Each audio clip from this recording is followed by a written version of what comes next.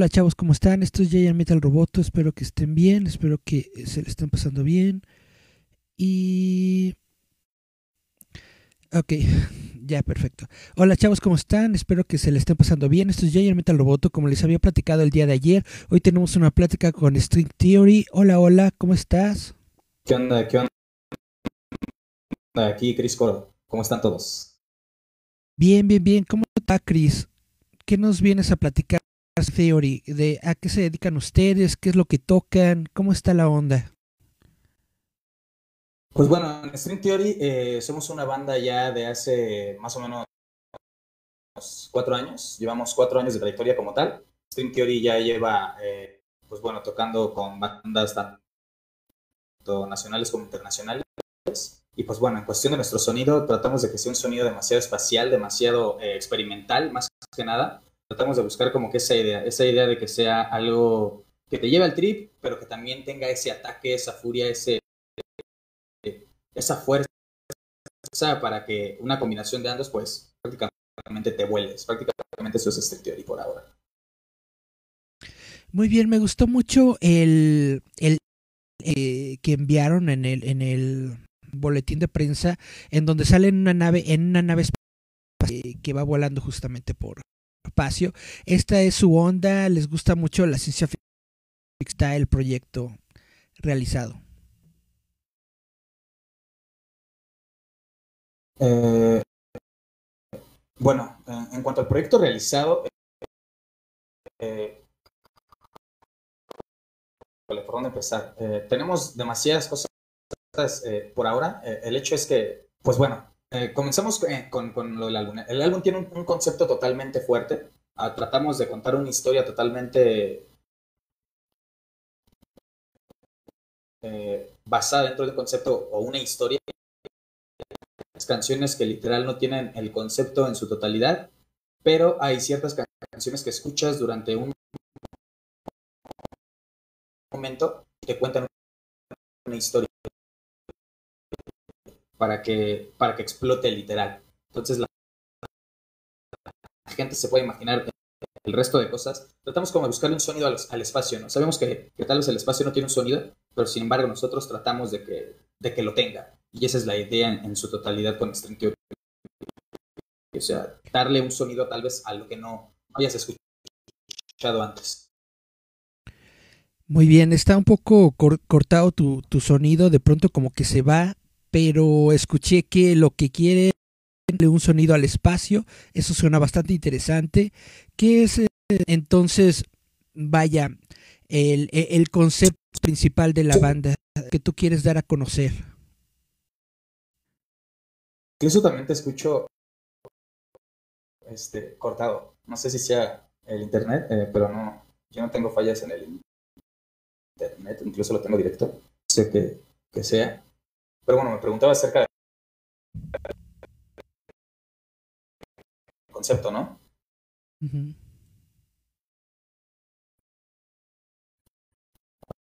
Pues está, sí, sí, sí se corta mucho. Más o menos, sí.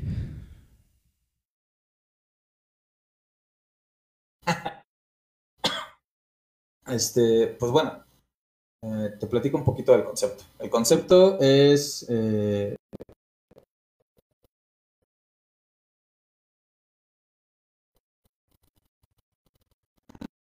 los astronautas que se van literalmente a la Luna. Bueno, no a la Luna, sino simplemente van hacia una misión en la cual eh, la misión espacial tiene ciertos problemas. Y es lo que vamos comentando dentro de, las, letras de las canciones. ¿no? En este caso hay cuatro canciones que te cuentan la historia completa. Debes de escuchar esas, esas canciones de una forma ordenada para que puedas entender la, la historia. Y al igual tiene unos sonidos, al parecer de 30 segundos cada uno. Y esos sonidos son parte, parte de, la canción o parte de la, pues sí, del concepto literal y de la historia. Y entonces tratamos de contar una historia, algo de ciencia ficción, literal, que pasa ahí arriba. Entonces, Muchas personas se preguntarán por qué el álbum se llama Supernova, por, ok, porque es una estrella o porque va a existir la explosión de una estrella. No tiene absolutamente nada que ver con, con, con la estrella, sino es que eh, la estación espacial eh, que nosotros manejamos de acuerdo a esta historia de ficción, pues se llama Supernova. Por eso que el álbum tiene el nombre de Supernova, porque al final eh, sería el nombre de la misión. Ah, yo pensé que era por la, por la eh, super banda de rock. Sí, no, no, no. no. Ah, bueno, en algún momento pensamos que Supernova era, bueno, es una estrella que se consume de, un todo y después explota para crear miles de, estrellas más. Entonces, en algún momento decidimos tomar como que esa, esa parte de, la banda y decir, ok, nosotros somos como una estrella que en algún momento se consumió, absorbió demasiadas cosas, explotó para poder hacer cosas mucho más chingonas y, prácticamente esa explosión eh, llegar a ser lo que, lo que somos ahora, ¿no? String Theory. Y, y la idea es explotamos para poder ser algo mucho mejor de lo que éramos. Muy bien, eh, lo que están promocionando en estos momentos es un nuevo sencillo que se llama Efímero, ¿es correcto? Sí, es efímera. Efímera. Efímera en, en mujer. Muy bien, este, este eh, sencillo tiene que ver también con esta historia que me estás contando del astronauta. Efímera bueno, como te lo comentaba antes, eh, nuestro álbum se compone, al parecer, de nueve canciones. Bueno, son ocho canciones. De esas ocho canciones va a haber cuatro sonidos que son totalmente complementarios a lo que es la historia. Eh, como te lo repetí hace, hace un ratito, eh, tal vez si no se me escuchó, lo que decía es que hay cuatro canciones que literal no entran dentro del concepto. ¿Por qué? Porque esas canciones las hicimos antes esas canciones las hicimos mucho antes de, tal vez tener el concepto bien, bien aterrizado de lo que queríamos expresar en el álbum. Entonces, son canciones que literal hablan de otra cosa y, hay otras canciones dentro del, álbum que las otras cuatro canciones sí hablan del concepto de la historia del, álbum, que es en esta, en esta parte la historia del astronauta.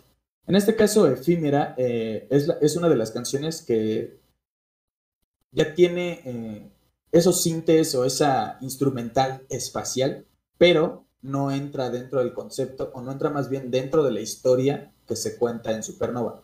Efímera es una, es una canción que habla sobre una chica que tiene ciertos problemas eh, como todo ser humano y decide eh, hacer un pacto con tal vez presencias oscuras o algo así. Y mediante eso pues recibe la ayuda tanto de la luz como de la oscuridad. Entonces es una pelea entre sus demonios internos, con esa parte de, luz que todo ser humano tiene. Y entonces la canción habla sobre la pelea del bien y el mal dentro de esta persona, donde en la oscuridad trata de convencerla para que haga las cosas porque le va a ir mejor y trata de pues de chantajearla del hecho de que se va a sentir mejor y demás a lo que la luz eh, le recomienda que no lo haga, que eso no está bien, que puede salir de todo lo que tiene y, que las cosas mejorarán. Entonces, Efímera eh, habla sobre eso, sobre el bien y el mal, eh, luchando por tal vez el, el, bienestar de una persona y de los demonios internos que cada ser humano tiene. Muy bien, ahorita que estás hablando sobre el bien y el mal, sobre la luz y la oscuridad, ¿te estás basando más en un concepto religioso o en algo eh, espiritual? ¿Estamos hablando algo como fuerza de Star Wars o como eh, el, el, diosito Satán de la religión católica? Perdón, pues bueno, este... Pues igual ocultismo y ese tipo de cosas, eh, en algún momento decidimos que realmente eh, no hablábamos o, no queríamos referirnos a ello, ¿no? Por cuestiones también como el hecho de, no queríamos que tal vez ninguna de las dos partes en algún momento se llegara a ofender o llegara a tomarlo como burla o como lo que sea. Entonces, lo que decidimos más es partir por el hecho de ciencia ficción. Nuestro álbum, al fin y al cabo, es como una ciencia ficción, una idea que, tal vez en algún momento decidimos escribir y decir, güey, esto está súper chingón, hay que escribir una historia sobre esto. Justamente Efímera es exactamente algo similar, ¿no? Es, una historia que te cuenta algo de, ciencia ficción Obviamente puede ser que tal vez algunas personas se sientan identificadas porque, bueno, yo creo que todas las personas en algún momento peleamos contra nuestros demonios internos, más que nada, y siempre tratamos de buscar esa parte de luz o tratamos de acercarnos a esa parte de luz cuando todo lo tornamos totalmente oscuro. Entonces yo creo que esta parte de, decir entre el bien y el mal o la pelea entre el, el, bien y el mal internamente, yo creo que desde todo ser humano que en algún momento estamos peleando entre, entre hacer las cosas bien o no hacerlas bien o, o simplemente pelear contra eso que tenemos interno, pues literalmente es, podría ser esa parte de efímera, ¿no? Al fin y al cabo también le pusimos el nombre de efímera porque, bueno, efímero es algo pasajero, es algo que, simplemente pasa y, se va así en un momento. Entonces decidimos darle ese nombre porque, bueno, al fin y al cabo, siempre que llegas a tener algún problema o algo, pues siempre al final del túnel vas a encontrar una luz, ¿no? Y esa luz es la que te puede ayudar. Entonces, literalmente lo manejamos mucho más como de esa forma. Podrá decirse que es un poquito más espiritual, pero en realidad es más, más la idea del hecho de los demonios internos. Muy bien, entiendo un, poco más, más esta onda. Eh, vaya, ¿de dónde, viene entonces la, la moral? ¿La moral viene directamente de, del ser humano, de la persona? ¿Ella es la que decide qué está bien y qué está mal? ¿O hay algo que le dice esto es lo correcto o lo incorrecto? Pues bueno, dentro de la historia yo creo que eh, la chica tiene problemas, literal, como todo ser humano. Y yo creo que uno como ser humano siempre busca tal vez la salida rápida. El hecho de para no estar con ello, para no sentirnos mal, para no estar dependiendo de ello. Entonces, prácticamente esta chica busca una salida fácil, una forma de desahogo fácil, una forma de acabar con ello.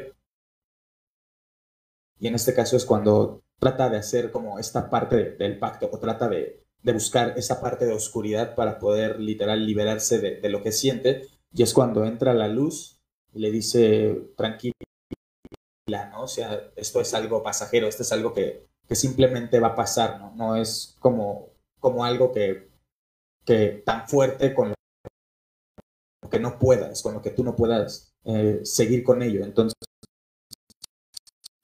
date tu tiempo, medítalo y simplemente será efímero, será pasajero. Entonces, prácticamente de eso, de eso es más de lo que se trata. Muy bien, me estabas platicando que entonces este álbum tiene aproximadamente nueve canciones. Tiene ocho canciones. Ocho canciones. Ocho canciones.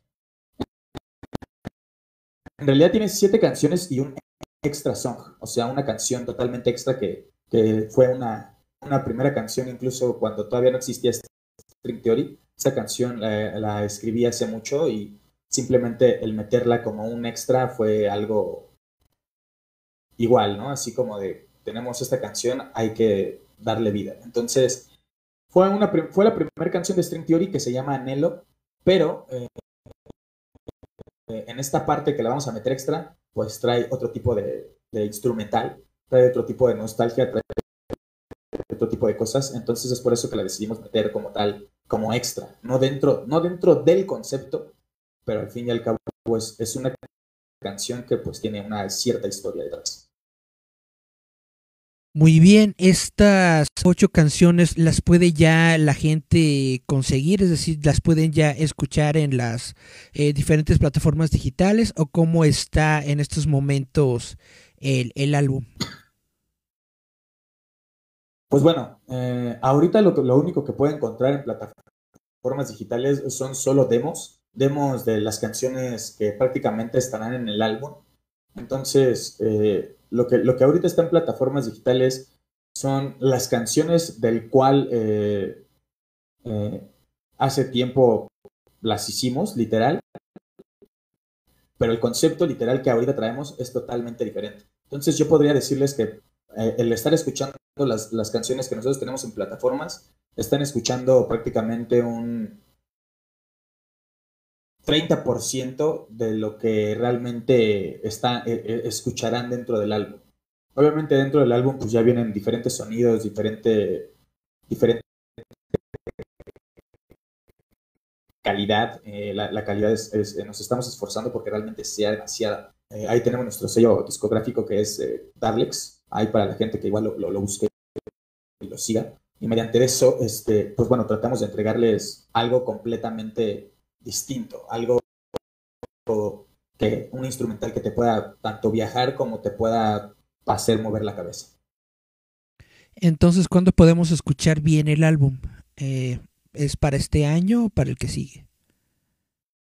Eh, el, álbum, eh, estamos prácticamente, se supone que teníamos una fecha en agosto. Este agosto se supone que iba a salir, pero literal decidimos entregarles algo totalmente de calidad, algo, algo muy volado. Entonces lo que decidimos hacer es hacer el álbum desde cero, empezamos a volver a hacer el álbum con, con nuevas ideas, con nuevos sonidos, con, experimentando muchas formas.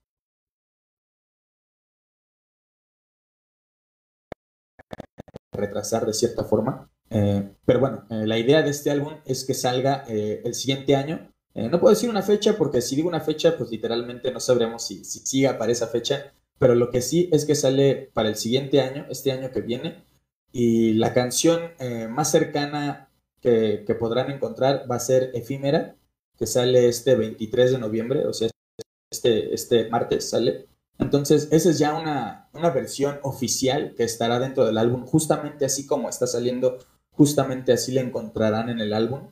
Entonces, más o menos, escuchando Efímera se podrán dar una idea de tanto la calidad, de tanto los sonidos, incluso el arte es totalmente original. Entonces, escuchando efímera podrán entender el por qué nos estamos de cierta forma tardando para que salga eh, todo este tipo de canciones y sobre todo podrán entender que, que, pues bueno, estamos dando lo mejor de nosotros para que ustedes puedan escuchar lo mejor que tenemos.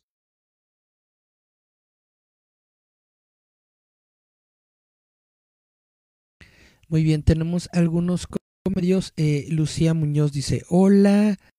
Y Miriam Cecilia dice hola. Eh, Kojiro Sasaki dice chido. Saludos, saluditos. ¿Y quién más por aquí? Tengo. Mm, de Kojiro Sasaki. Dice, creo que soy el primero. Muy bien, entonces. Saludos a todos.